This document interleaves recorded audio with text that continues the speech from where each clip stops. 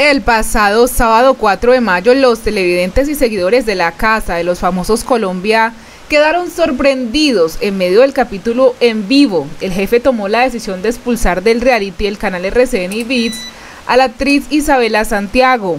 Mucho se ha comentado en redes sociales sobre la salida de la actriz Isabela Santiago de la Casa de los Famosos Colombia tras romper varias reglas de la competencia según expresó el jefe.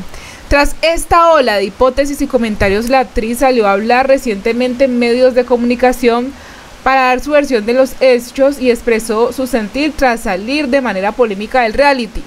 Una de esas entrevistas fue con Mañana Express del canal RCN en donde reveló que se sentía tranquila tras salir del reality porque había retomado su realidad. No obstante, no ocultó que no se siente orgullosa de la manera en la que sucedieron las cosas.